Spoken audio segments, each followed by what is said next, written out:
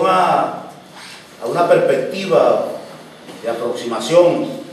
que no es de manera definitiva el balance que hace la Dirección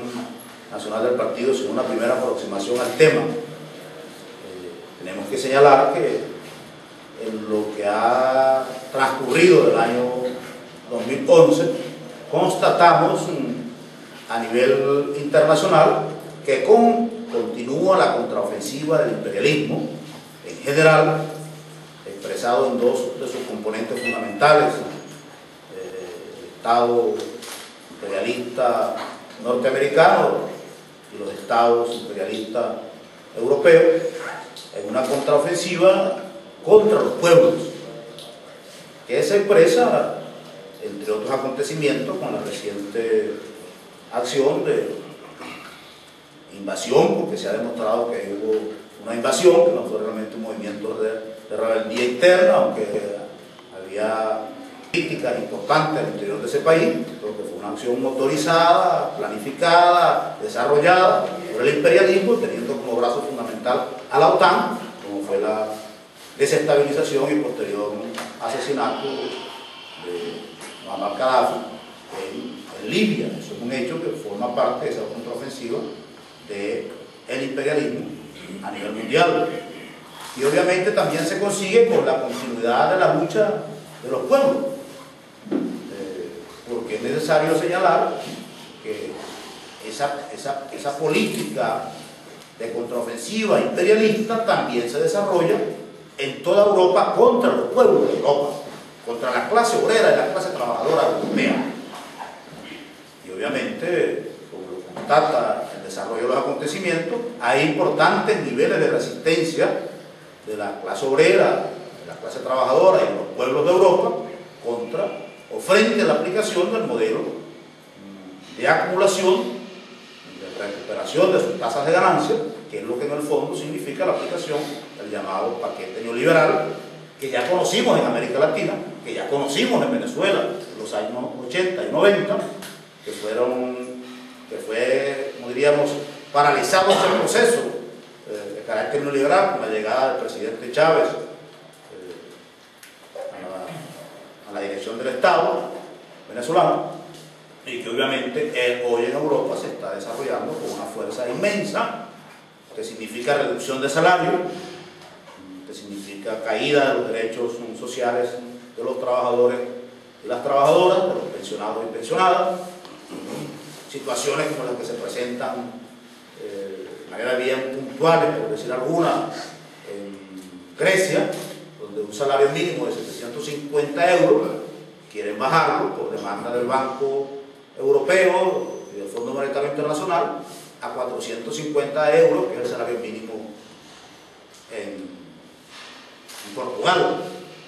Y así sucesivamente, pues es el plan que está intentando aplicar en Europa los sectores monopólicos, los sectores imperialistas, para recuperar su tasa de ganancia y lanzar el peso de la crisis del sistema capitalista mundial sobre los fondos de los trabajadores y de los pueblos. frente a eso, nosotros señalamos que también se sigue desarrollando una tendencia de carácter progresivo, porque en el fondo todo lo que acontece a nivel internacional y a nivel nacional es la confrontación de intereses, de intereses de clase de intereses de los pueblos frente a transnacionales y de intereses de los trabajadores y las trabajadoras de la clase obrera frente al capital. Eso es lo, las contradicciones que, que marcan el desarrollo de los acontecimientos a nivel mundial y a nivel internacional. Sigue la acción de la contraofensiva reaccionaria, pero sigue también la acción y lucha de los pueblos y los procesos de acumulación progresiva en Europa, de nuevo la clase trabajadora está reactivándose, dando importantes combates, y en América Latina los pueblos sí, seguimos luchando, sus trabajadores y sus trabajadoras, y también los gobiernos progresistas siguen avanzando. Entonces, es ese proceso que transitamos, de confrontación, de lucha, y obviamente el destino definitivo de la humanidad va a depender de los pueblos en general y en particular la clase obrera y el pueblo trabajador estemos en capacidad de acumular la fuerza necesaria para romper con la dominación del capital. Eh, instaurar en nuestros países eh, y a nivel mundial la sociedad de la justicia, de la igualdad, de la solidaridad, de la equidad, de la ayuda mutua, que no es otra que la sociedad socialista, sustentada en la teoría marxista-leninista de la revolución y el desarrollo. es en ese contexto entonces que se, da en América Latina la constitución de la, comunidad de Estados latinoamericanos y bellos, que como hemos dicho el Partido Comunista es un avance importante en el proceso de acumulación que se ha venido dando durante todos estos años, toda la década pasada,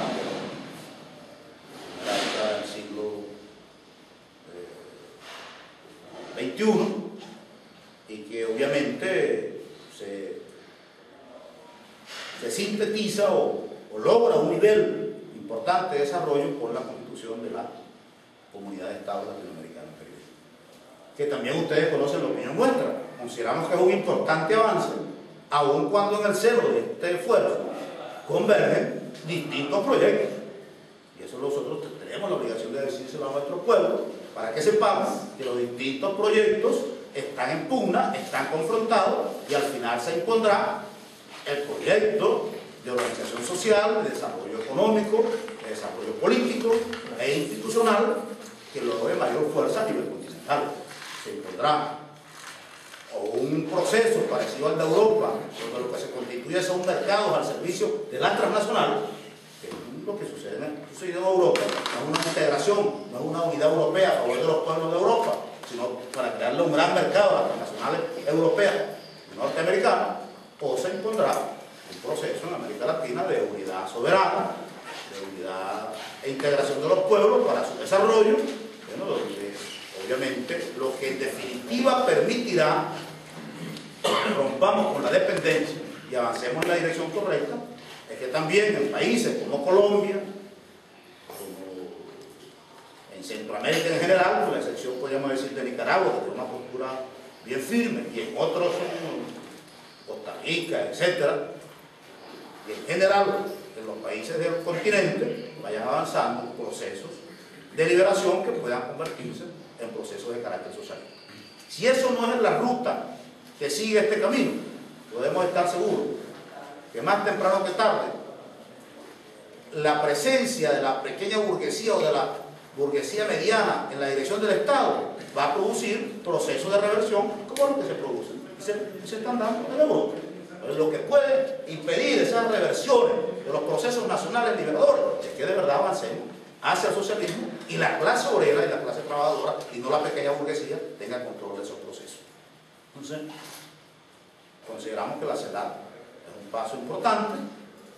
en un contexto, repetimos, de profunda confrontación interna de varios proyectos de desarrollo. Y en ese marco internacional entonces también se dan el avance de la recomposición y rearticulación del movimiento comunista y obrero internacional, mundial, que precisamente del 11 al 12 del presente mes de, diciembre realizó en Atenas, donde estuvimos presentes el camarada Carlos Wimber, secretario de Relaciones Internacionales del Comité Central, mi persona, doctor Figuera, secretario general del Comité Central, estuvimos representando al Partido Comunista en el decimotercer encuentro internacional del Partido Comunista y Obrero, donde se demuestra que hay también allí avances importantes en los procesos de rearticulación y de construcción de vanguardia del movimiento comunista internacional y además se está dotando de una revista comunista internacional cuyo consejo de redacción también se reunió el día 12 eh, del presente mes de diciembre. Entonces, todo eso configura entonces un cuadro de, carácter internacional que nosotros consideramos que aún con la contraofensiva reaccionaria sigue avanzando el proceso de acumulación de fuerza de los pueblos frente a la reacción internacional, frente al imperialismo. Y que ese proceso de acumulación debe producir rupturas, va a producir reacomodo, va a producir recomposición en la correlación de fuerza internacional. Eso obviamente también tiene sus expresiones que ya señalamos a nivel continental, con la CELAC, de otras experiencias que se vienen dando y a nivel de nuestro país, donde no es posible negar que la movilización de los trabajadores y las trabajadoras, de sus organizaciones sindicales clasistas, de los consejos de trabajadores y trabajadoras, mm, socialistas o no, de los delegados y delegadas de prevención en general, que la movilización del movimiento obrero y sindical clasista en Venezuela ha producido también importantes avances, entre los que se cuenta el que el presidente de la República, Hugo Rafael Chávez Fría, haya asumido recientemente el compromiso de por fin producir una nueva y revolucionaria ley orgánica de trabajo. Eso es producto de la lucha del pueblo venezolano. Eso es producto en particular de la lucha de la clase obrera, del movimiento obrero y sindical clasista venezolano, de sus delegados y delegadas de prevención,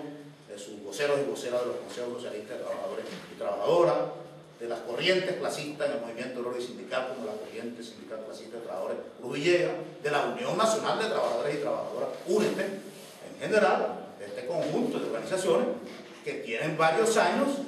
demandando la aprobación de una nueva y revolucionaria ley orgánica del trabajo y también de la ley especial de los consejos socialistas de trabajadores y trabajadoras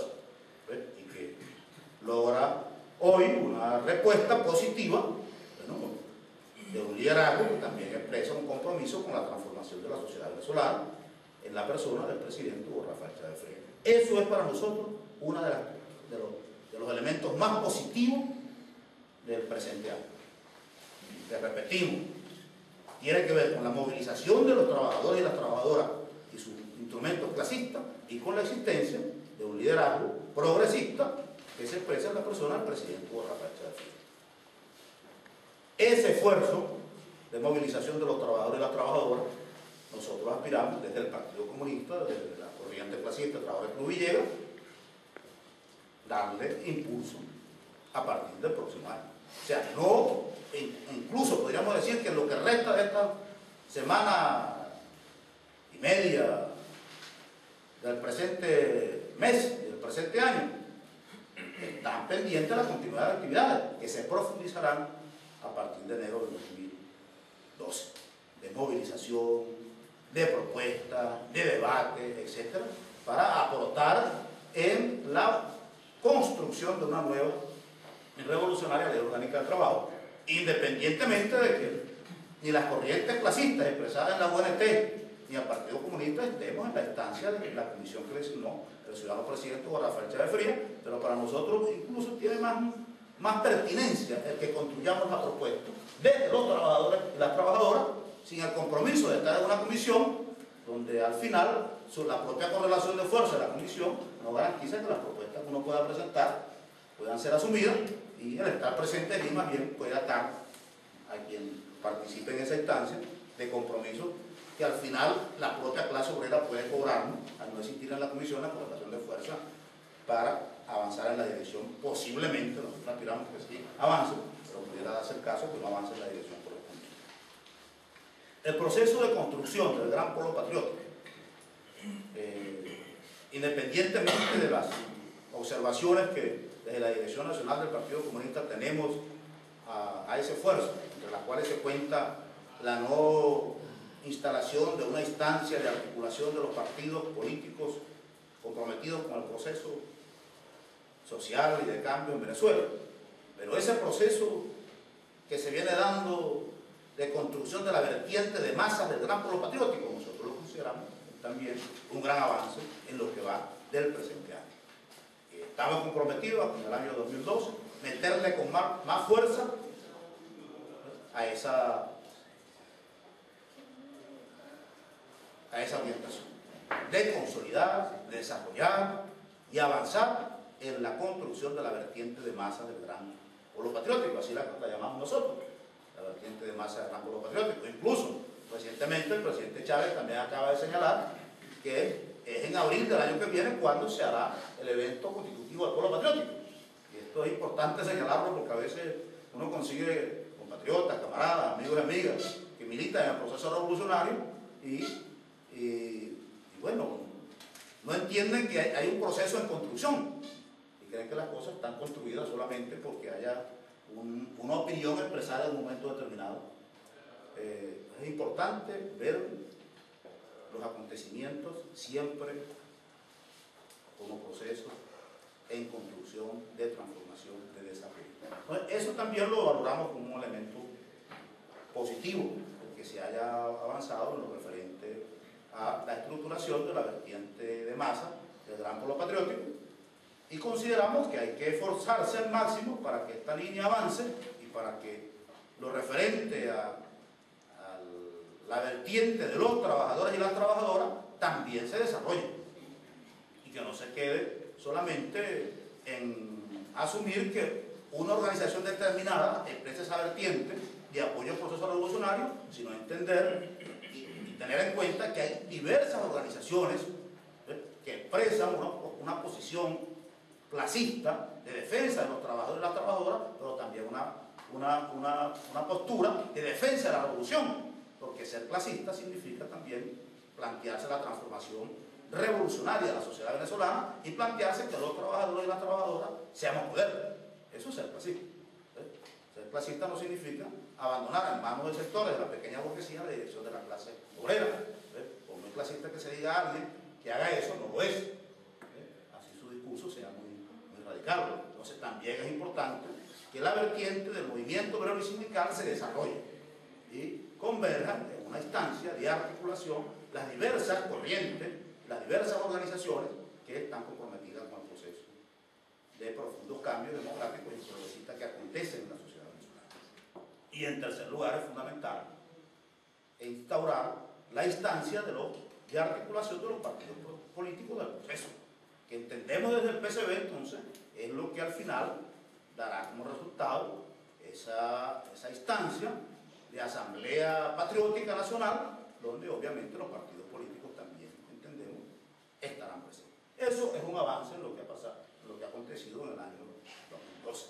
Y en lo que corresponde al Partido Comunista, bueno, hemos cumplido desde nuestra perspectiva las tareas que nos hemos impuesto. Una tarea que nos impusimos desde hace varios años es presionar por una nueva revolucionaria de trabajo, con los trabajadores y las trabajadoras con las organizaciones sindicales clasistas y las corrientes clasistas, con los voceros y voceras de los consejos socialistas de trabajadores y trabajadoras y los delegados y delegadas de prevención. Bueno, hemos obtenido un avance con la declaración del presidente y el compromiso del presidente Fachada Fría. Nos propusimos realizar nuestro 80 aniversario, fuerza, demostración de vigencia del Partido Comunista, eh, de su existencia, de su fortaleza, de su perspectiva, y eso lo logramos. Cuando celebramos en marzo del presente año el 80 aniversario del Partido Comunista. Nos propusimos realizar nuestro 14 congreso para realizar un debate profundo de la vida interna del partido, de su línea política, de su programa, del desarrollo de la perspectiva del proceso de cambio en Venezuela y de la necesidad de construir el Frente Amplio, patriótico y antiimperialista, y a la vez construir el bloque popular revolucionario que aglutine al conjunto de fuerzas comprometidas ideológica y políticamente con la vertiente de desarrollo socialista en la sociedad venezolana, y estamos trabajando en esa dirección y ese congreso fue también exitoso. Nos propusimos presentar una propuesta de nueva revolucionaria ley orgánica del trabajo y la Comisión del Movimiento Obrero y Sindical del Comité Central ha venido trabajando al respecto y realizamos a comienzos del mes de diciembre, el 3 de diciembre,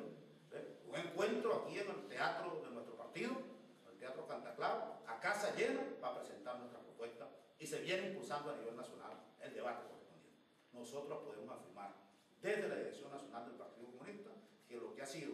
la orientación de nuestro 14 Congreso, la orientación de nuestro Comité Central, la venimos cumpliendo, la venimos impulsando, viene demostrando que es una, que una línea correcta, se viene trabajando en todas las instancias del partido y estamos convencidos, estamos persuadidos, estamos realmente comprometidos y comprometidas como militantes del Partido Comunista de Venezuela, en el año 2012 cada célula, cada comité local, cada comité regional, cada colectivo de la juventud y cada cuadro del Partido de la Juventud Comunista de Venezuela, nos esforzaremos mucho más por lograr que la línea política del partido se exprese en nuevos niveles de organización popular, en nuevos niveles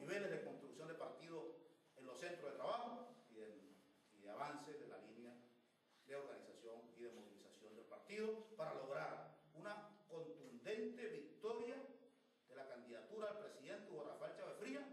el 7 de octubre.